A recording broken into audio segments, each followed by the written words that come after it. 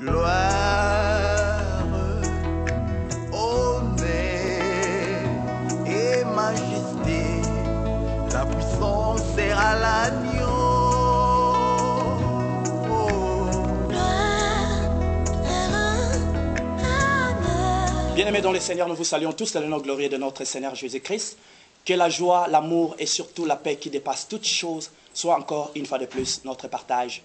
Vous êtes bien encore une fois de plus dans votre émission que vous aimez beaucoup, La Voix du Savoir. Merci beaucoup.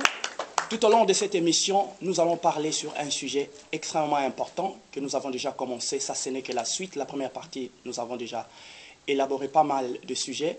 Et aujourd'hui, encore une fois de plus, nous allons parler sur le pratique, le fausse pratique de la délivrance.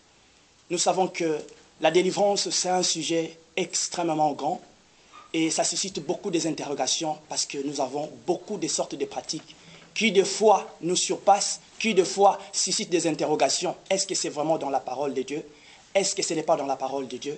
C'est pourquoi nous avons le privilège aujourd'hui de recevoir sur ce plateau un éminent homme de Dieu qui s'y connaît bien et qui a la maîtrise de la chose, qui va nous éclairer par la lumière des Écritures.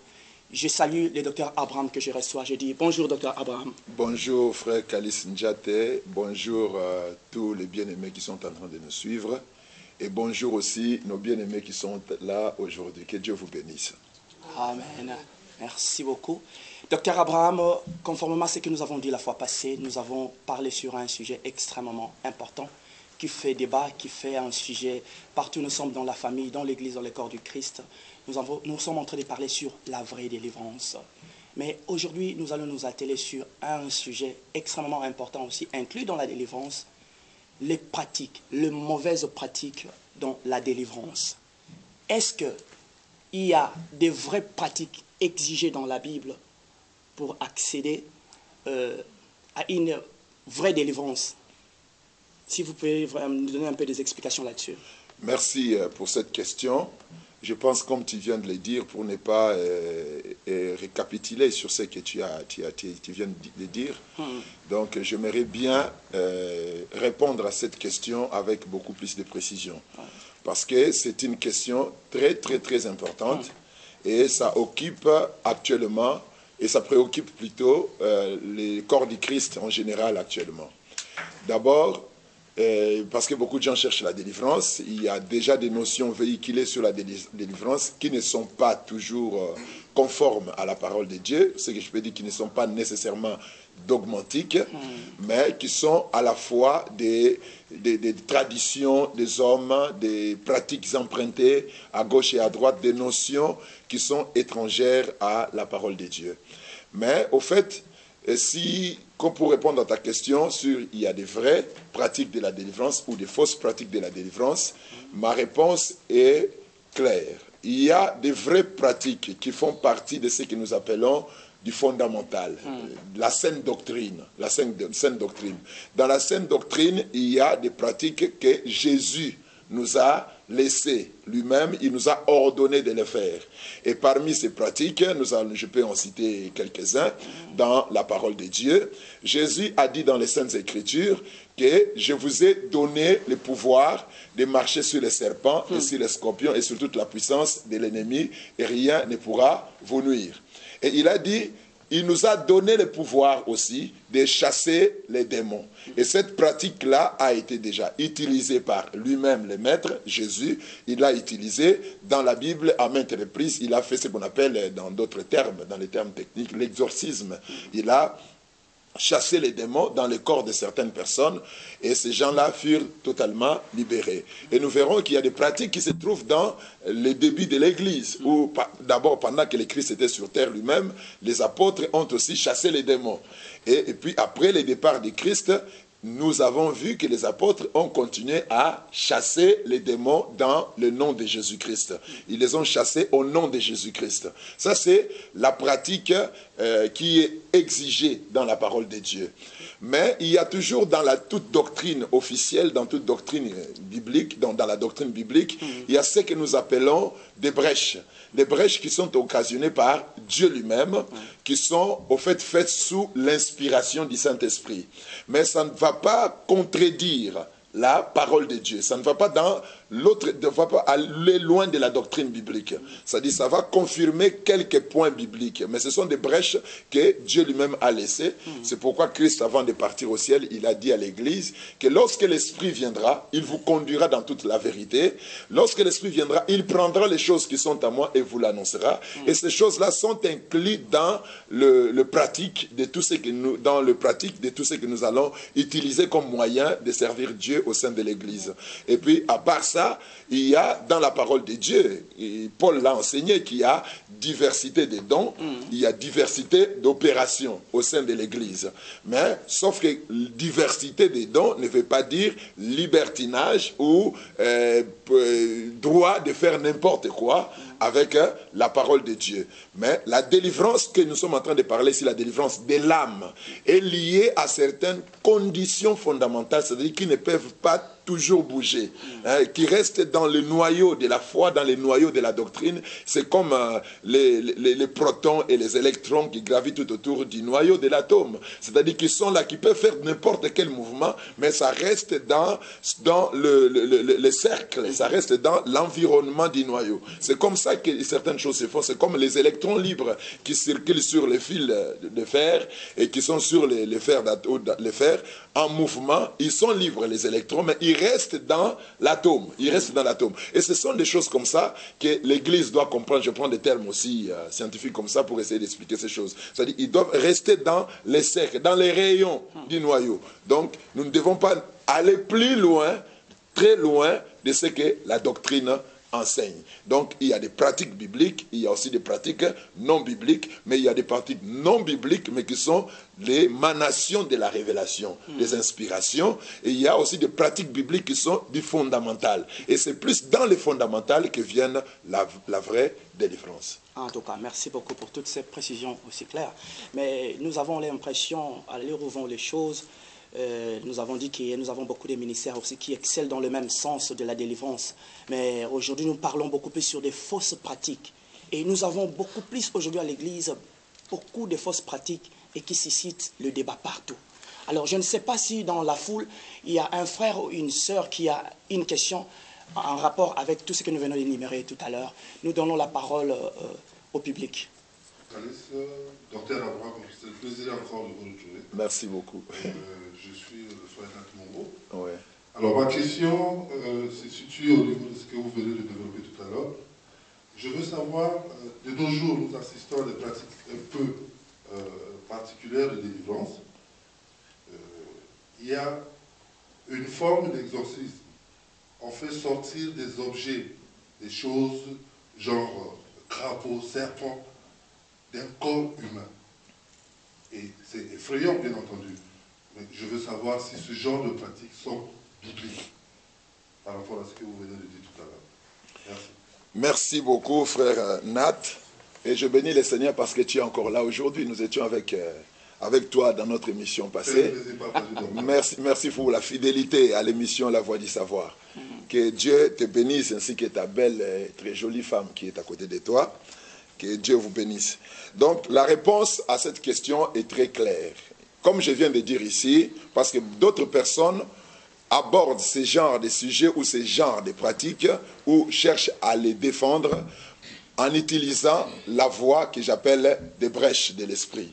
Tandis que les brèches de l'esprit, j'ai dit, c'est- c'est- ça ne peut pas s'éloigner du noyau de la foi, du noyau de la doctrine. Ça ne peut pas quitter la doctrine. Ça reste dans les- l'environnement doctrinal. Ça ne peut pas aller plus loin que la doctrine.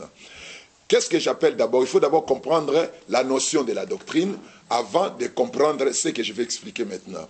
La doctrine, c'est quoi? La doctrine, c'est l'ensemble des enseignements fondamentaux que Jésus nous a laissés et qui ont été confirmés par les apôtres et les prophètes. La Bible dit, nous sommes, selon Éphésiens, chapitre 2, verset 20, que nous sommes édifiés sur les fondements des apôtres et les prophètes, Jésus-Christ lui-même étant la pierre angulaire.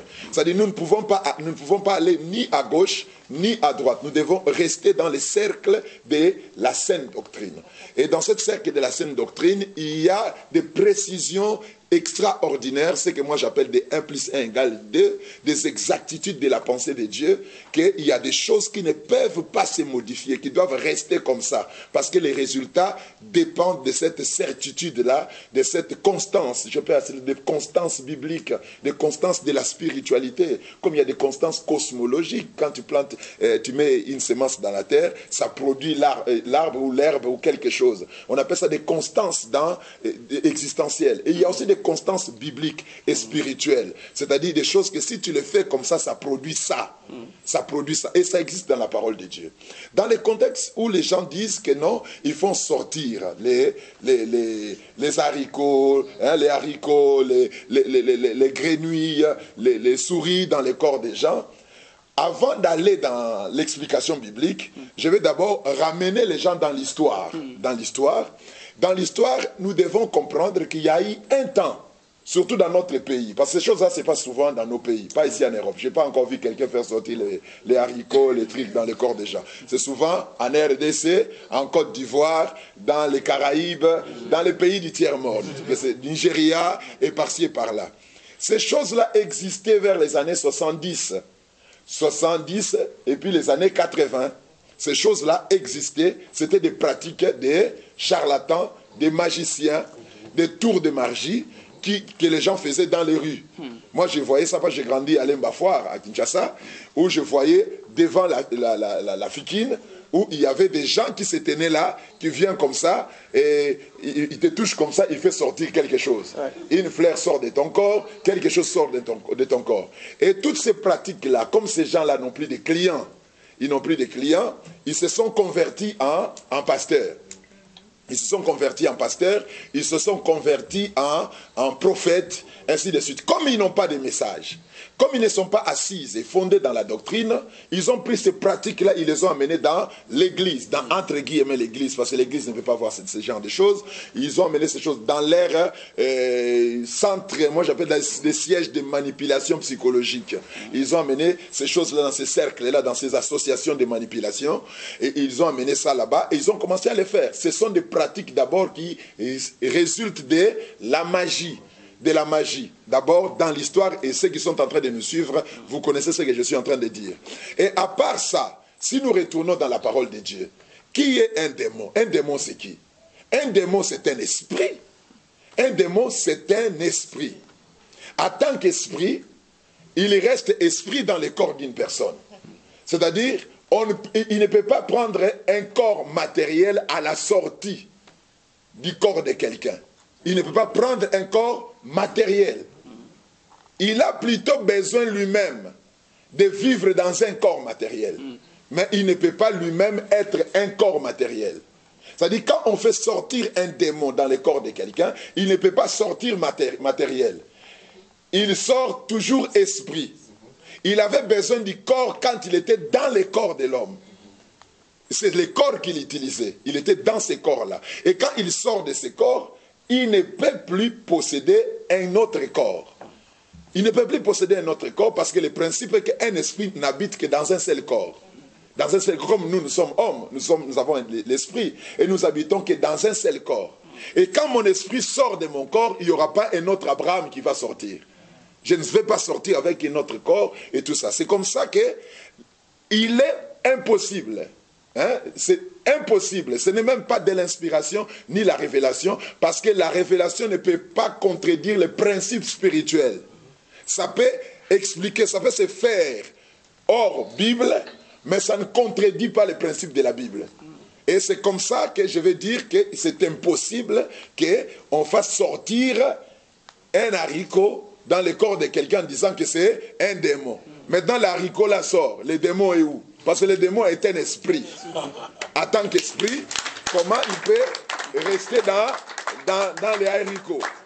Deuxièmement, troisièmement, il est impossible qu'un esprit puisse rester pendant longtemps dans un corps inerte. C'est impossible. Pourquoi? Parce que les mauvais les esprits vivent de notre vie. Ils vivent de la vie de notre esprit, de notre âme. Nous sommes des âmes vivantes. À cause de cette vie qui est en nous, les démons viennent et ils profitent de cette vie qui se trouve en nous. C'est-à-dire un démon ne peut pas rester longtemps, très longtemps dans un corps inerte, dans un corps sans vie. D'où quand quelqu'un meurt, les démons sortent de son corps parce que son corps devient inerte. Quelqu'un dira, entre autres, telles que les maisons hantées.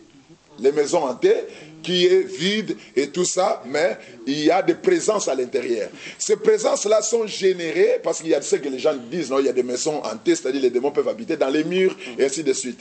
Ces présences-là sont générées par d'autres êtres. Je peux vous amener un peu plus loin dans la science. Dans la science, les cœurs de l'homme génèrent ce qu'on appelle l'énergie magnétique. Hein? Électromagnétique, les cœurs de l'homme génèrent une énergie magnétique la plus puissante de l'existence, plus que même le cerveau de l'homme. Et cette énergie magnétique peut aller jusqu'à 30 mètres à gauche et à droite, au-dessus et en bas, c'est-à-dire dans l'espace-temps, dans cette dimension-là. Et il y a d'autres personnes qui sont surdouées, qui sont capables d'émettre ces énergies à des distances aussi longues. C'est-à-dire, tel qu'on est là, si tout un chacun de nous dit que dans cette maison, il y a un démon, dans cette maison, il y a un démon. Ces démons-là ne sont pas là parce que ils sont dans les murs. Mais c'est notre énergie qui les a canalisés dans cet endroit-là. C'est-à-dire, ils sont là par notre force vitale. C'est notre force vitale intérieure qui les envoie là-bas. C'est comme les cimetières. Les cimetières n'ont pas, en réalité, non, ont des démons. En vérité, il y a des démons au cimetière. Mais ces démons sont enlevés là-bas au cimetière par l'énergie que nous l'avons, nous les avons envoyés là-bas, nous les avons canalisés au cimetière. Dans l'esprit de tous les, hommes, les cimetières étaient un endroit hanté est un endroit hanté, il y a les démons qui sont là-bas. Alors, toute personne qui croit comme ça est en train de canaliser l'énergie démoniaque dans cet endroit-là. Et cela fait que le cimetière devient réellement un endroit démoniaque. Mais ça ne peut agir que sur une personne qui croit en ça. Celui qui peut savoir vivre cette, euh, euh, ces entités démoniaques au cimetière n'est autre qu'une personne qui croit aussi que les démons sont là. Alors, s'il y a quelqu'un qui ne croit pas que les démons sont là, il est déconnecté de cette énergie démoniaque générée par d'autres forces qui viennent de la pensée des hommes. Donc il est impossible, ça j'ai parlé d'abord historiquement et scientifiquement. Et spirituellement maintenant encore, c'est de l'ignorance. C'est de l'ignorance. Toutes les personnes qui pensent que on fait sortir quelque chose de son corps, cela explique que les démons ont quitté, ont quitté son corps. C'est purement, comment je peux dire, c'est de l'ignorance, c'est de l'idiotie. Hein, vous allez me permettre de le dire, c'est de l'idiotie, c'est de l'abrutissement. Donc beaucoup de gens sont ignorants, ils sont abrutis, pas par leur propre volonté, mais par la manipulation des faux prophètes. Il est impossible. La dernière chose que je vais dire dans ce domaine est que si, pourquoi on ne fait sortir que les haricots? Hmm. On fait sortir que les haricots, les souris, les insectes, les cailloux, Faut qu'il y ait et tout ça. par exemple, qui sort. Tel que ça tel qu'un lion, un hippopotame aussi sort du corps de quelqu'un. Parce que si quelqu'un, bon, comme les gens ont l'habitude de dire que si quelqu'un est colérique, soit s'il a un esprit de léopard, un esprit de lion, comme les, les interprètes. Alors faites sortir un lion, qu'il sort là, si vous resterez toujours. Eh, vous, vous resterez, vous êtes là. Faites sortir un lion, un éléphant qui sort, un esprit d'éléphant. Hein, comme les gens qui ont les mbasou là, on dit qu'ils ont il y a un esprit d'éléphant. Mais faites sortir aussi l'éléphant. On voit l'éléphant sortir de l'église comme ça, et tout ça. Et là, on va croire que c'est que vous êtes Mais comme c'est impossible, vous choisissez les choses qui sont manipulables humainement pour mentir aux gens et tout ça. Tous les enfants de Dieu sortaient de ces choses. Je pense que frère Nat, j'ai répondu à, votre question. Merci beaucoup, docteur Abraham d'avoir explicité cela avec beaucoup d'aisance et avec beaucoup de précision. Hmm. Vraiment, nous sommes, moi personnellement, je suis convaincu parce que ce n'est pas quand même normal. Si on veut passer à la délivrance et on nous fait sortir seulement des choses euh, miniatures, des choses presque insignifiantes et des choses extrêmement signifiantes, on n'arrive pas à les démontrer. Comme des l'avez dit. crocodiles, Un crocodile. des hippopotames.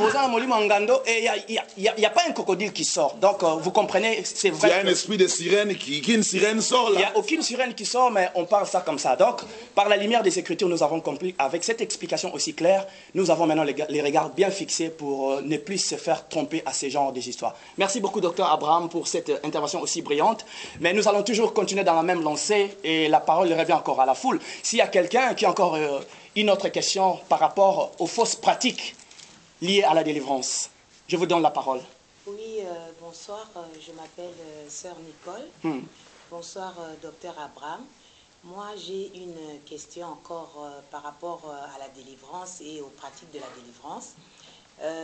J'aimerais savoir par rapport aux pratiques que nous assistons, telles que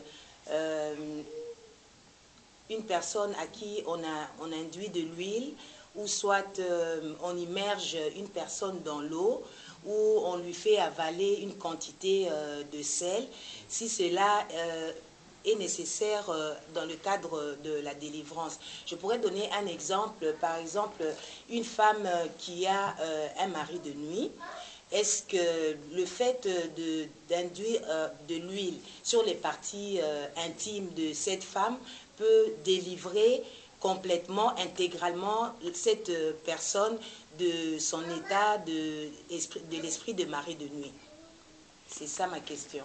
À vous la parole, docteur. Ça, c'est une très grande Une question. très bonne question. Une très, très, très grande question. Parce que ça détruit l'Église. Ça détruit le foyer, ça détruit les familles, ça fait des mauvaises choses au sein de, de l'Église, ça a des conséquences néfastes au sein de l'Église. J'aimerais aussi répondre vraiment avec beaucoup plus d'aisance et de, de- de- de- de clarté dans, dans cette question.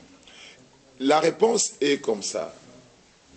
Je crois que chaque élément de la nature, tel que Dieu l'a créé, détient une certaine, certaines énergies dans les éléments, les composants de la nature. Ça, c'est pas moi qui l'ai dit. D'abord, l'apôtre Paul l'avait expliqué. La nature détient un certain pouvoir, détient une certaine euh, force. Il y a des énergies dans la, dans la nature. La preuve en est que nous nous en servons des fois chaque jour, nous nous servons de la nature. Chaque jour, nous respirons l'air. C'est la nature, ça nous fait vivre. Nous nous servons des éléments de la nature qui nous font vivre. Nous nous habillons, nous avons des vêtements sur nous, et puis euh, nous mangeons, et ça produit en nous des protéines. Et nous utilisons beaucoup de choses dans la nature qui nous aident à être en paix, à être en bonne santé, à être bien euh, psychiquement et voire même spirituellement. La Bible dit dans Romains, que j'aimerais bien lire, une sœur m'avait appelé au Canada pour cette émission, Maman Cécile, elle m'avait dit, docteur, il faut aussi lire la Bible. Il faut lire la Bible, c'est important. Donc le j'ai écouté votre, j'ai écouté votre proposition et je l'ai fait. Donc la Bible dit dans Romains chapitre 1, nous allons lire à partir du verset 20. Nous allons lire le verset 20 seulement. La Bible dit, en effet, les perfections invisibles de Dieu, sa puissance éternelle et sa divinité se voient comme à l'œil depuis la création du monde quand on les considère dans ses ouvrages. Ils sont donc inexcusables. C'est-à-dire, dans les choses que Dieu a créées, il y a la divinité de Dieu est visible dans ces choses, sa perfection, sa puissance. On dit sa puissance. Quand on parle de la puissance, c'est de l'énergie. C'est de l'énergie. Il y a l'énergie dans chaque élément que Dieu a créé. Mais sauf que cette énergie-là n'est pas utilisable à volonté. L'homme ne peut pas utiliser volontairement comme il, veut ces énergies pour des fins purement spirituelles. Je peux les utiliser pour des fins matérielles, c'est-à-dire pour manger, boire et produire certaines choses sur le plan physique, mais pas sur le plan spirituel. Dans la Bible, plusieurs personnes ont été guéries. Je ne parle pas de la délivrance. Guéries. C'est comme Moïse avait un bâton. Le bâton de Moïse n'a pas libéré les enfants d'Israël. C'est Dieu qui les a délivrés, qui les a délivrés. Les bâtons d'Israël étaient qu'un moyen utilisé pour certaines circonstances. Ce n'est pas les bâtons qui avaient libéré les peuples. Les bâtons avaient produit certaines choses, mais qui n'étaient pas la délivrance. L'opération du bâton de Moïse a commencé d'abord quand Moïse a rencontré Dieu. Dieu lui dit jette ton bâton, le bâton se transforme en, en serpent. Et Moïse tient le bâton, le bâton redevient bâton. Et après, Moïse va aller chez Pharaon.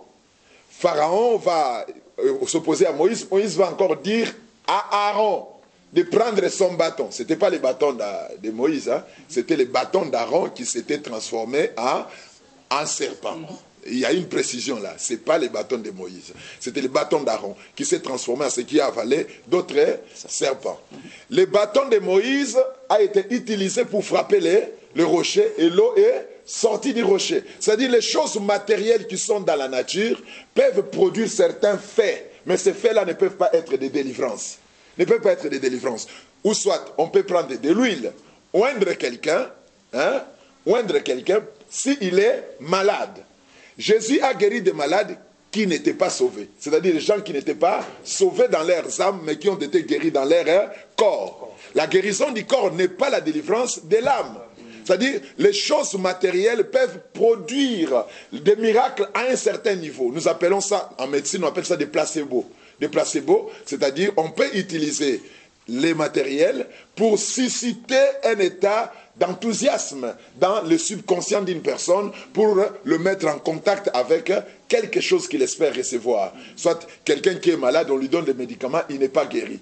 Ils vont venir soit avec les pains, seulement les pains, ils vont dire à cette personne, ce pain ici, ça a guéri beaucoup de gens, pas les pains, mais ce médicament ici a guéri beaucoup de gens. Si toi, si tu les prends, tu seras guéri. Ce n'est pas les pains-là qui les guérit, mais plutôt la foi suscitée, l'espoir qui est suscité dans son cœur qui va les, les guérir. Là, une femme a touché les vêtements de Jésus. Une femme a touché les vêtements de Jésus et cette femme était guérie. Mais Jésus n'a pas dit que c'est mon vêtement qui t'a guéri. Il a dit ta foi t'a sauvé. C'est-à-dire, une personne, Jésus a pris de, sa salive, il a mélangé avec la, la, poussière.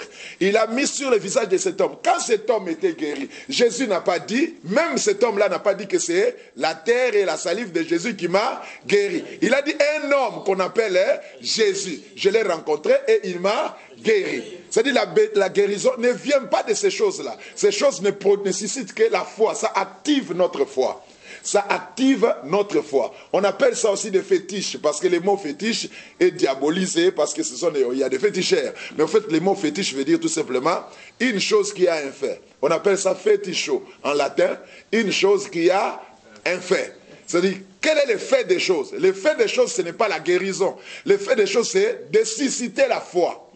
Ça produit la foi dans l'homme et c'est la foi qui va guérir la personne. Mais ça ne sauve pas l'âme d'une personne. On peut prendre quelqu'un et le jeter dans l'eau, mais pas dans le cadre de la délivrance de son âme.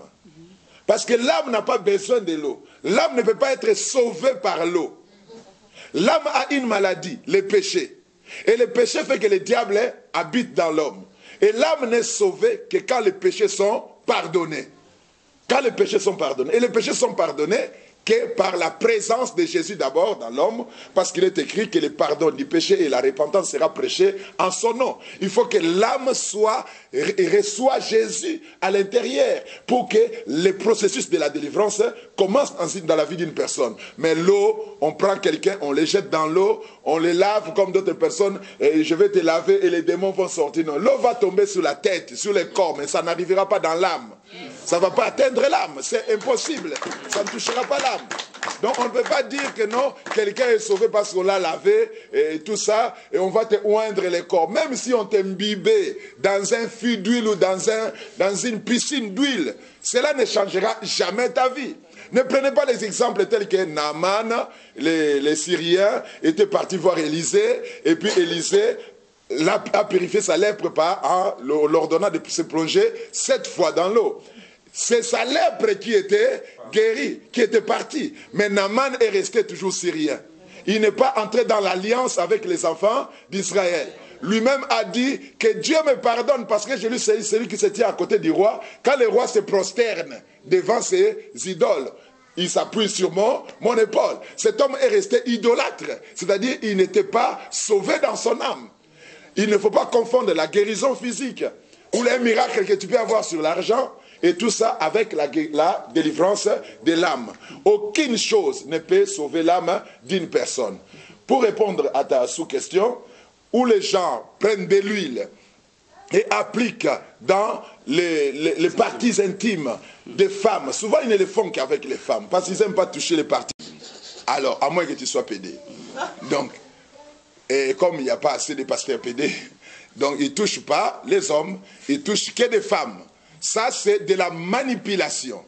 Et dans la plupart des cas, ces attouchements sexuels-là aboutissent toujours à des rapports sexuels. Parce que c'est suscité dans la femme des désirs par cette huile-là. Donc c'est impossible qu'un mauvais esprit que tu vois dans tes rêves puisse sortir par l'huile qui touche ton corps. Parce que ces rapports-là, tu ne les fais pas dans ton corps, mais tu les fais au niveau de ton âme. Ce sont des rapports extra-physiques, extra-matériels. Ça se passe dans la dimension de l'âme, c'est dans la dimension du parachisisme, du euh, parapsychique. Ça se passe là-bas. Et tu ne peux pas l'amener dans la dimension corporelle. Aucun démon ne peut sortir, aucun mari de nuit peut lâcher le corps d'une femme parce que cette femme a été euh, touchée et tout ça. Ça, c'est tout simplement de l'impudicité. Ça n'a pas un autre nom. C'est de l'impudicité. Et comme peut-être tu n'as pas le courage, ils n'ont pas le courage de draguer et tout ça, et ils profitent du ministère et tout ça. Et puis il faut avoir le courage, il faut être toi-même démoniaque pour faire des choses comme ça. Parce que tu sais que cette personne est possédée par un esprit de mari de nuit. Et toi, tu viens chercher aussi à passer par là. Tu sais ce que tu vas recevoir.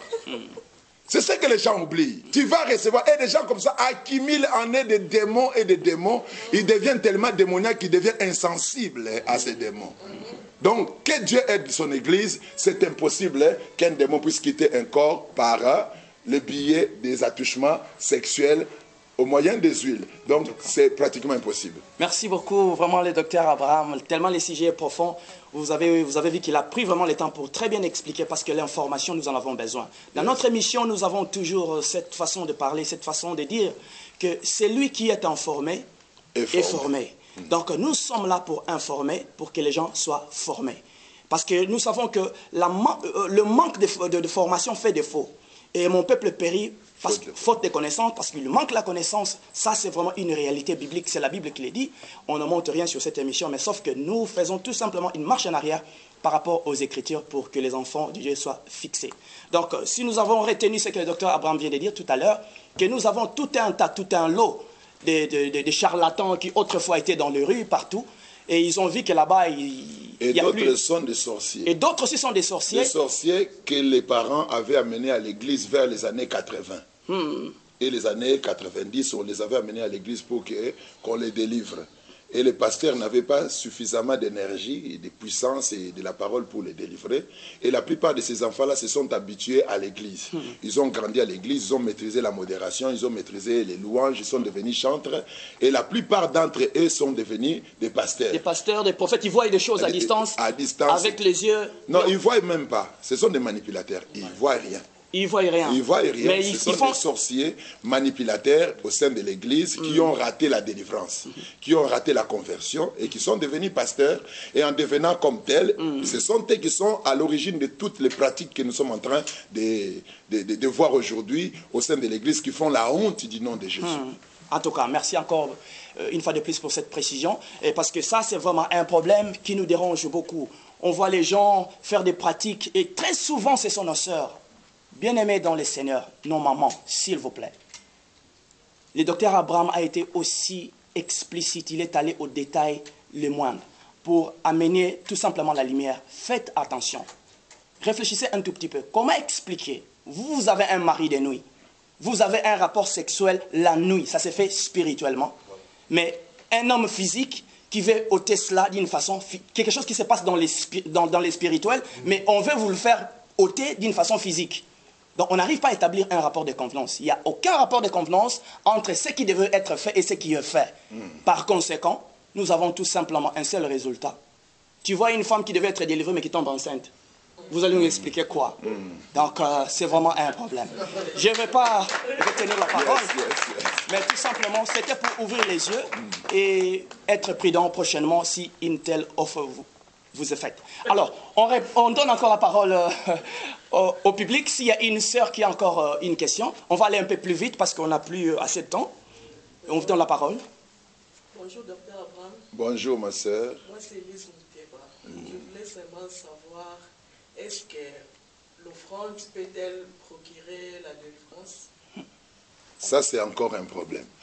C'est encore un problème, un problème très grave au sein de l'Église. Avant d'aller plus loin, j'aimerais dire que je ne suis pas en train ici de dire qu'il ne faut pas donner les offrandes à l'Église. Il faut que les gens donnent l'offrande à l'Église parce que c'est la parole de Dieu. C'est biblique d'apporter son offrande à l'Église. C'est biblique d'apporter quelque chose à l'homme de Dieu. C'est biblique de faire, d'exprimer euh, sa gratitude à l'égard de Dieu, à l'égard des hommes qui servent Dieu par euh, les offrandes. Mais sauf que l'offrande n'a rien en soi pour procurer la délivrance. Il n'y a rien dans l'offrande pour donner la délivrance. La délivrance que nous sommes en train de parler ici, c'est-à-dire la délivrance de l'âme, n'a qu'une seule voie et il y a d'autres pratiques qui les accompagnent. Que nous allons parler peut-être dans nos prochaines émissions quand nous allons commencer à expliquer en profondeur la vraie délivrance. Mais ici, nous parlons de pratiques. Quelqu'un qui vient chez un prophète, par exemple, parce qu'il y a une sœur qui m'a appelé, qui m'a dit que j'étais parti chez un prophète et j'avais des problèmes spirituels et que j'avais besoin de la prière, mais le prophète me dit, avant que tu passes à la délivrance, il faut d'abord que tu donnes l'offrande. Et si tu donnes l'offrande, on va te, te délivrer. Mais quand nous lisons même dans la Bible, quand le maître lui-même, Yehoshua Mashiach, était sur terre, il a marché parmi les hommes, il a délivré les malades, il a libéré les captifs, il a renvoyé libre les opprimés, il a fait des miracles extraordinaires. Nous ne voyons pas là où Jésus commence d'abord par réclamer une offrande à quelqu'un avant de lui rendre un service spirituel. C'est vrai que les gens doivent être reconnaissants. Ils doivent aller vers les hommes de Dieu en disant, non, je viens chez quelqu'un, je peux lui apporter quelque chose, ou même je dois lui apporter quelque chose. Mais ce que tu apportes là n'apporte pas la délivrance. Ce n'est pas ça qui apporte la délivrance. La délivrance s'opère seulement quand il y a interaction entre la révélation de la parole que tu reçois et la foi que tu as dans ton cœur, ce sont ces deux choses qui sont à la base de la délivrance. Ce n'est pas les offrandes. Les offrandes ne délivrent pas quelqu'un. Et comme beaucoup de gens ont des témoignages, parce que les gens se fichent dans des expériences. Moi, je connais une sœur, elle avait des démons, ainsi de suite, et elle a donné son offrande. Nous ne savons même pas, il n'y a pas de preuve hein, que cette sœur-là était délivrée par l'offrande. Non, il n'y a pas de preuve. Peut-être qu'elle a été délivrée par la miséricorde de Dieu. Elle est partie chez un homme de Dieu qui l'a arnaqué financièrement, mais Dieu a eu compassion d'elle. Et Dieu peut aussi la délivrer par sa volonté, par sa miséricorde. Donc, cela ne veut pas dire que l'offrande peut procurer la délivrance. L'argent ne peut pas s'échanger avec hein, la délivrance. Ça ne s'échange pas. Un jour, un homme, Pierre est arrivé à Samarie, imposant les mains sur les gens, et ces gens recevaient le baptême du Saint-Esprit. Un homme est venu voir Pierre, il s'appelait aussi Simon. Malheureusement, Simon le magicien. Il est venu voir Pierre, il lui a dit, est-ce que je ne peux pas te donner de l'argent pour que tu me donnes aussi cette puissance? Pierre lui a dit d'aller pourrir avec son argent. D'aller pourrir avec son argent, parce qu'on ne peut pas échanger l'énergie surnaturelle de Dieu à l'argent. L'argent ne peut pas acheter la puissance de Dieu. L'argent ne peut pas acheter le salut.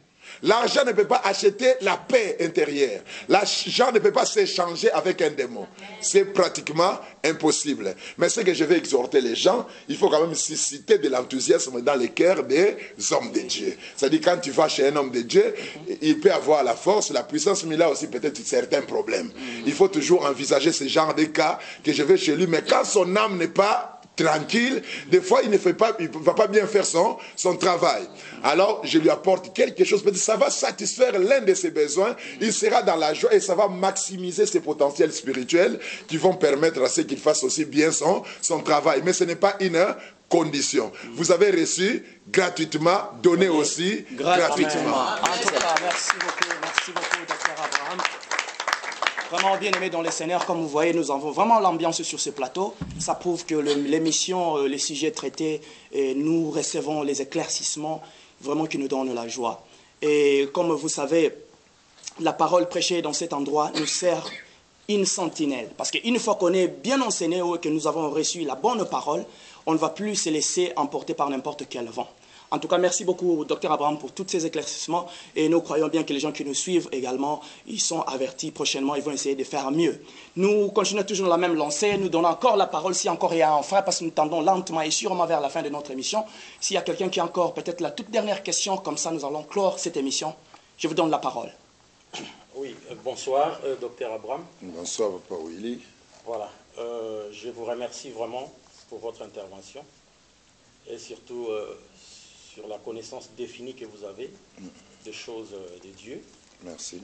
Euh, là, je vais poser cette question. On arrive aujourd'hui euh, à voir euh, plusieurs pratiques.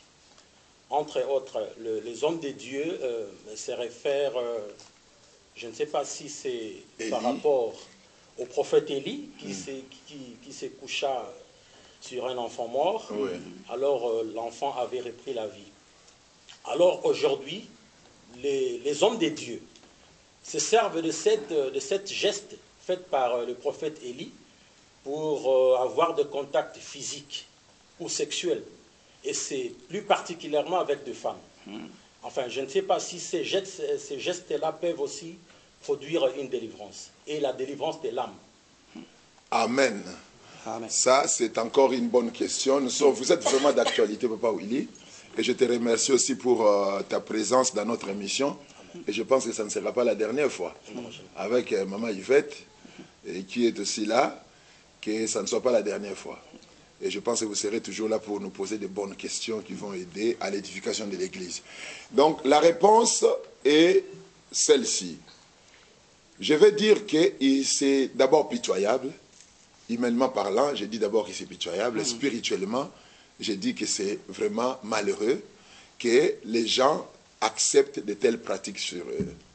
Je vais dire ceci, que le contact physique avec un homme de Dieu, je réitère dans ce que j'avais dit avant, de la réponse que j'avais donnée à la sœur euh, euh, Nicole, euh, Nicole, donc la réponse que j'avais donnée, que ça peut avoir certains faits limités à un certain niveau, les contacts physiques avec un homme de Dieu. Moi, je me souviens que j'avais l'habitude de le faire quand j'étais encore étudiant et quand j'ai travaillé à Church of God Mission, quand j'étais étudiant à All Nation for Christ Bible School Institute au Nigeria, chez mon père des, des, des- Big One qui n'est plus là, qui est mort, qui est mort, mais un homme qui a fait des prouesses extraordinaires dans les corps du Christ, euh, Papa Benson Andrew Idaousa, euh, qui a été une grande bénédiction pour mon ministère. Je l'ai vu générer des énergies extraordinaires dans les ministères où je voyais les paralytiques marcher, les aveugles voir, des, prodiges se faisaient presque chaque jour dans notre église. Il y avait des millions, il a gagné des millions de gens dans le Seigneur. Il a implanté plus de 6000 églises à travers le monde. Et plusieurs personnes se sont converties dans son ministère. C'est lui qui est le père de la plupart des hommes puissants que nous connaissons au Nigeria. Alors qu'est-ce que je faisais? Des fois, quand il passait, soit il se mettait sur une chaise, j'allais aussi m'asseoir sur cette chaise-là. Sur cette chaise-là, parce que je crois à la au transfert d'énergie, je crois au point de contact, je crois que ça peut ça me ça de la foi en moi-même sur certaines choses. Mais tous ces actes-là, c'était limité, c'est limité à un certain niveau. Je ne peux pas devenir lui en entrant en contact physique avec lui. Je ne deviendrai jamais lui. Je n'aurai jamais l'onction qu'il avait par ces contacts-là. Mais ça peut résoudre certains problèmes. Certains problèmes, les contacts physiques avec un homme de Dieu, si toutefois c'est fait sur base d'une révélation particulière. D'une révélation particulière. Il faut que Dieu te parle. C'est comme la femme à la perte de sang qui a dit dans son cœur, si je parviens à toucher la panne de, de sa robe, je serai guéri. C'était un contact physique qui l'a guéri. La Bible dit que Jésus, il est passé et les hommes les, les touchaient et ils étaient guéris. Pierre passait son ombre, touchait les, les malades et les malades étaient guéris. Les gens posaient même les mouchoirs sur la porte. Les gens posaient les mouchoirs, le frère, Kabilis, merci pour euh, euh, cette, cette aide. hein. Donc, ils posaient les mouch- mouchoirs sur le corps de Paul et les mettaient sur les linges sur le corps de Paul et les mettaient sur le malade. Et le malade était guéri. Mais ça se faisait dans un cadre rapproché du noyau de la foi. Ça ne peut pas aller plus loin. Le problème de la délivrance de l'âme est tellement profonde que c'est le Dieu qui peut s'en occuper. Aucun contact physique ne peut produire la délivrance de l'âme. Entre autres, quelqu'un qui est possédé, cet, fa- cet enfant-là de l'histoire d'Élie, il était mort. Il était mort. Et puis Élie est venu se coucher sur un enfant. Un enfant, j'insiste, un enfant. C'est pas une maman. C'est pas une maman. C'est pas une jeune fille. C'est un enfant. Si c'était une femme, je pense qu'Élie n'allait pas faire ça. Il n'allait pas faire ça. C'était un enfant. Et toi d'abord qui vas chez un prophète qui vient sur toi, qui dit que bon, je vais coucher sur toi, bouche à bouche, nez à nez, mbunzo, eh, ventre ventre, cuisse cuisse, tout en tout. Maintenant, c'est pour que ça suscite quoi? C'est pour que ça suscite quoi? Il faut être aussi stupide, tu vas m'excuser si tu l'as déjà fait, insensé, excuse-moi encore, si tu fais de ce genre de choses, si tu acceptes ce genre de pratiques. Des fois, il ne faut pas aller même accuser les hommes de Dieu en disant c'est tel homme de Dieu avait fait ci et c'est ça, tel homme de Dieu avait fait ceci. C'est toi aussi qui le voulais. Quelque part, c'est toi-même qui le voulais. Peut-être qu'il y avait déjà de mauvaises intentions sur cet homme de Dieu. Quand il te dit, bon, couche-toi, je vais monter sur toi, toi tu dis, ah, c'est l'occasion. C'est un penalty. Je vais marquer maintenant. Hein? Il faut être intelligente, sage, surtout nos sœurs. Il faut être intelligent. Parce que les choses comme ça, on ne les fait pas sur les hommes. Et cet enfant était un garçon en plus. Hein, ils avaient- il, a fait ça sur un garçon, pas sur une femme. Le corps d'une femme détient, le corps d'une femme détient certaines, euh, certaines énergies. Donc, il n'est pas facile de se coucher sur une femme tranquillement. Comme ça, et le tout de la femme te touche et touche le Même tout de ton corps. hein. Même quand on est spirituel. La Bible dit fouiller l'impudicité. La Bible ne dit pas que résister à l'impudicité. Non, l'impudicité, on, on la fouille. On, le- Dieu, l'impudicité est plus puissante que le diable. Amen. Attention, le diable a produit l'impudicité, mais l'impudicité est plus puissant que le diable. La Bible dit ceci résistez au diable et il fuira loin de vous. Quand vous rencontrez les démons, la Bible dit chassez-les et ils vont partir. La maladie, on nous dit impose les mains et la maladie va partir. Mais pour l'impudicité, la Bible dit fouillez. Fouillez.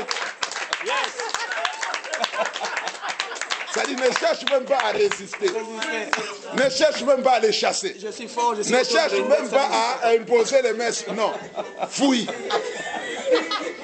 Joseph dans la Bible avait fouillé la femme de. Il a même laissé son manteau. Lui, il était Joseph rempli de l'onction de Dieu, avec une puissante destinée. Mais il a vu, qu'est-ce qu'il avait fait fuir? C'est qu'il avait vu certains changements dans son corps. Il commençait à sentir certaines choses. Il a dit, si je reste ici, je finirai par tomber. Je dois partir. C'est comme ça qu'il a fui. Alors, un prophète qui vient coucher sur le corps d'une femme, il doit être impudique. Amen. Il doit aimer l'impudicité. Et une femme qui se laisse qu'un prophète couche sur elle, comme ça, c'est que cette femme-là est aussi impudique. En tout cas, Donc, il faut à tout prix comprendre que ces choses sont, ne sont pas des pratiques de la délivrance. Même pas une pratique de la guérison. Ce n'est même pas une pratique de la guérison, c'est une pratique de l'impudicité. sont Donc, il faut. Et ce sont des désirs charnels en manifestation. Donc, il faut les laisser. En tout Que cas. Dieu vous bénisse. Merci beaucoup, docteur Abraham. Vous voyez l'ambiance qu'il y a ici sur le plateau. Franchement, bien aimé, nous rigolons, nous faisons des choses, mais il y a des couples qui, sont, qui ont connu des problèmes sérieux. Il y a des femmes qui ont connu de telles choses et aujourd'hui, elles sont animées par des culpabilités terribles. Pourquoi? Le docteur Abraham vient de le dire tout à l'heure, que quelque part, femmes- le- ou soit la femme a été ignorante, je ne sais pas quel niveau, ou tout simplement, il y avait déjà un désir euh, désintéressé en elle qu'il a cherché tout simplement l'occasion pour sauter là-dessus. En tout cas, merci beaucoup. Euh, Je pense, euh, il y a encore un frère qui a une question? Oui, euh, excusez-moi d'interrompre votre intervention. Je voulais juste intervenir parce que c'est tellement profond ce que vient de- d'expliquer le docteur Abraham. Hmm.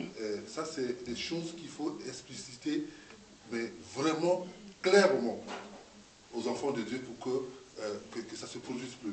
Je voulais savoir si euh, nos sœurs, par exemple, qui sont souvent victimes de ce genre de pratique, Hmm. est-ce que si la sœur se trouve devant un, un- un homme de Dieu qui a fait ses preuves, ça dit que euh, euh, surdimensionné, il est dans un niveau, je ne veux pas salir le- euh, la mémoire de, de votre père spirituel, un homme de cette carrure euh, vous dit euh, que votre problème ne peut passer que par ce genre de délivrance, cette pratique. Il faudrait que je me couche dessus pour que vous soyez délivré. Est-ce que ça aussi, il faudrait qu'elle fuit ou bien qu'elle croit à l'homme de Dieu qui est en train de lui dire que ta délivrance, ton problème sera résolu que si il y a telle ou telle pratique? Merci beaucoup. Merci, ça c'est une bonne question parce que la plupart des gens tombent dans ce genre de manipulation, dans ce genre de situation. Parce que peut-être qu'ils respectent tellement l'homme de Dieu que quand il lui propose de faire quelque chose, il, il ne- donc si c'est une femme, elles ne peuvent que le faire. Mais sauf que c'est pourquoi nous exhortons le peuple de Dieu de se bâtir, de se construire à l'intérieur sur base de la parole de Dieu. Que les gens comprennent la doctrine. Que les gens comprennent la parole de Dieu. Que les gens aiment les Écritures. Parce que les Écritures sont claires là-dessus. Je vais prendre un exemple dans la Bible. Un homme comme Paul, l'apôtre Paul, il dit à l'église de Corinthe, ici à l'église euh, de Galate, il dit, si même un ange du ciel venez vous annoncer un autre évangile, que ce que vous avez reçu de moi, qu'il soit anathème, c'est-à-dire qu'il soit maudit. Il, il ne parle pas des hommes. hein. Il dit, même si un ange descendait du ciel et qu'il vous apportait un autre évangile, c'est pour dire, quelle que soit l'onction surdimensionnée d'une personne sur la terre, il n'a pas le droit d'infreindre les principes de l'évangile. Il n'a pas le droit de détruire la parole de Dieu pour ses intérêts sensuels, pour ses intérêts charnels. C'est-à-dire, nous devons connaître les limites des hommes de Dieu. Les hommes de Dieu sont aussi limités par la loi biblique. Je suis un homme de Dieu, mais la parole de Dieu m'emprisonne. Je suis prisonnier de l'évangile. Je ne peux faire que ce que la Bible tolère. Ce que pas tolère, mais ce que la Bible impose, ce que la Bible ordonne. Parce qu'il n'y a pas de tolérance dans la parole de Dieu. C'est-à-dire, ce que la Bible dit, c'est ce que je vais faire. C'est-à-dire, si quelqu'un vient et il te propose quelque chose qui va au-delà des Écritures, au-delà même de ce qui est censé être inspiration, révélation de la parole de Dieu, il ne faut pas le faire, quel que soit son niveau spirituel. Tout Donc ne vous laissez pas manipuler par l'autorité de quelqu'un, par ses prouesses, par ses exploits. L'homme reste hein, l'homme.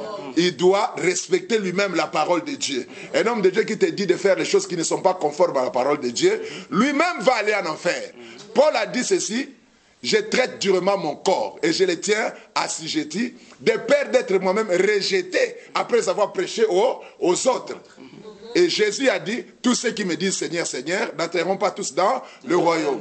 Il a dit, plusieurs viendront et diront, nous avons fait des miracles en ton nom, nous avons prophétisé en ton nom, nous avons guéri les malades en ton nom. Le Seigneur dira, Retirez-vous de moi, vous qui commettez l'i- l'iniquité. Il peut se faire qu'un homme de Dieu se trompe sur la doctrine. Il peut se faire qu'un homme de Dieu tombe dans un péché où il n'arrive pas de se libérer, mais ne soit pas sa victime. En tout cas, merci beaucoup, merci beaucoup. Vraiment, merci pour euh, tous les points qui ont été éclairés euh, tout au long de cette émission. Vraiment, nous sommes arrivés à la fin de notre émission. Bien aimés, vous qui suivez cette émission, nous sommes là vraiment pour informer. Tous ceux qui vont avoir l'habitude de nous suivre régulièrement, constamment euh, euh, devant leur poste téléviseur, vous allez vous rendre compte qu'au fur et à mesure, il y aura toujours une gouttelette qui va s'ajouter dans votre connaissance de la parole. Dieu nous a fait grâce d'avoir euh, un enseignant de la parole qui nous explique des choses dans la profondeur et ça vra- vraiment toutes ces choses nous éclairent. Et nous sommes vraiment arrivés à la fin de notre émission. Nous remercions tout le monde qui est venu ici, ce public chaleureux et magnifique. Vraiment, nous, nous osons croire que ça, ce n'est pas la toute dernière fois. Et dans d'autres émissions, dans d'autres numéros, votre présence sera toujours la bienvenue et pour que les enfants de Dieu soient édifiés, les enfants de Dieu aient la parole de Dieu et qu'ils savent bien se protéger parce que nous sommes arrivés au temps de la fin. Les diables est en train d'agiter par-ci, par-là, juste dans, dans un seul but, c'est de nous dévier dans la présence de Dieu. Voilà, sur ce, nous allons mettre un point final à notre émission. Nous rappelons que derrière la caméra, nous avons Yves Mavambou, qui est le manager de Bundes Image, qui a assumé cette réalisation. Nous avons la présence de Stéphane qui nous a assisté, nous avons Jennifer qui nous a assisté, nous avons Eliezer qui nous a assisté, nous avons Victorie qui nous a assisté. Et nous vous remercions tous et nous disons également merci d'une façon particulière euh, à la pastorale allemande euh, de la communauté congolaise ici en Allemagne. Je, pense directement au président qui est euh, l'apôtre Nestor Wemboloa que je salue. Je salue également mon père spirituel, le pasteur Paul Chibangu, qui est le pasteur euh, que le Seigneur a élevé dans cette ville de Mönchengladbach. Nous, nous le remercions beaucoup ensemble avec sa famille. Et je dis également merci beaucoup à Dr Abraham. Je sais que prochainement Moi aussi, encore... je dois quand même remercier les gens. Oui, d'accord. Je vais brosser tout simplement pour dire un grand merci à tout le monde. Et je donne les derniers mots au docteur Abraham. Ce n'est pas les derniers mots, mais je vous donne quand même l'occasion de dire un petit merci Parce aux que autres. tu y allais déjà jusqu'à la fin. Merci. C'est dans cette ambiance que nous travaillons. Ouais. Ça, c'est quelqu'un de bien. Quelqu'un de bien. Que Dieu te bénisse, Calice. Moi, je te remercie parce que les gens ne te remercient pas. Amen. Je remercie le frère Calice pour tout ce qu'il a fait et pour tout ce qu'il fait et pour tout ce que nous allons faire ensemble. Je remercie particulièrement Yves Mavambou qui est producteur de cette émission. Je vais remercier une sœur qui nous aide par ses conseils qui se trouve au Canada, Marie-Cécile, qui ne manque pas ses émissions.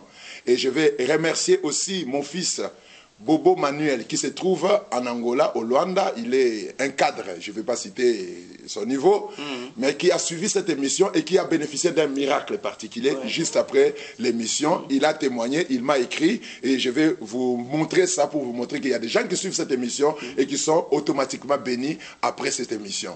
Et je remercie aussi euh, ma famille, mes enfants, je remercie ma maison, je remercie euh, tout le monde qui me soutient dans les ministères, en particulier le pasteur Paul Chibangu, qui est quelqu'un de très important dans ma vie.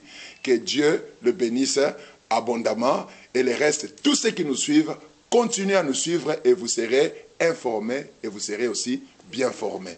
Que Dieu vous bénisse. En tout cas, merci beaucoup. En tout cas, c'est là où nous allons mettre notre point final. Je dis un grand bisou à Adoram et Lechem et de la part des Dedi. Et je remercie tout le monde. Merci beaucoup pour euh, la suite de nos émissions sur euh, la voix du savoir. Merci